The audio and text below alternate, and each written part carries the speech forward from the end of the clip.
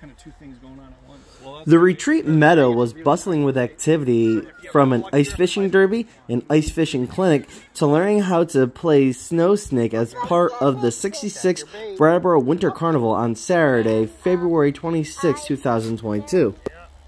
Just one hand, Well, yeah. and I.